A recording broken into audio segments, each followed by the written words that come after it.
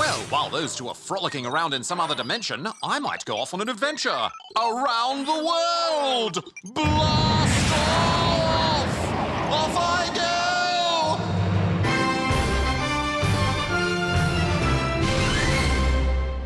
Hello, and welcome to Gaming Around the World with me, Darren! Today, let's explore Russia.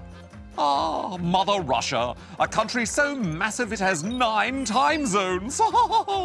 and it's not just a snowy landscape far away at the top of the world where people wear furry hats and dance in a squat either. No, Russia is a hive of game development and a home to some of the most passionate gamers in the world.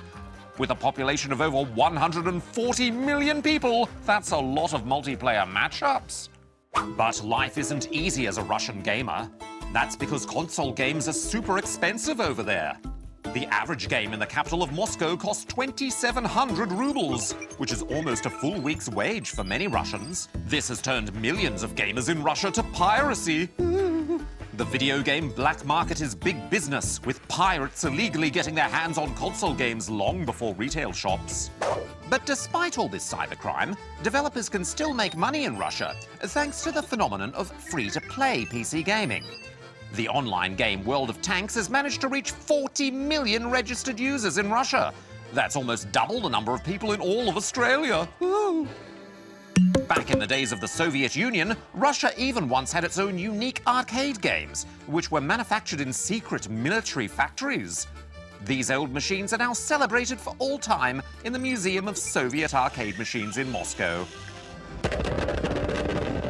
One of Russia's first ever computer programs was the Kaissa chess program, which became the first world computer chess champion in 1974.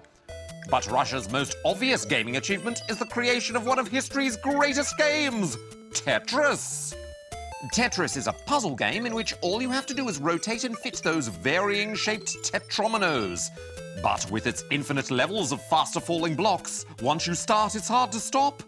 Russia has also been an inspiration for many a game developer. One of the greatest fighting game characters ever, the mighty Zangief from Street Fighter, is a red-blooded Russian wrestler. Zangief is the best!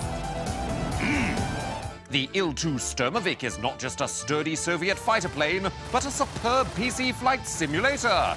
And the Avengers Black Widow is a Russian super spy you don't want to cross. Russia, the country to send the first human to outer space in 1961, and a nation that still stuns the world with its games.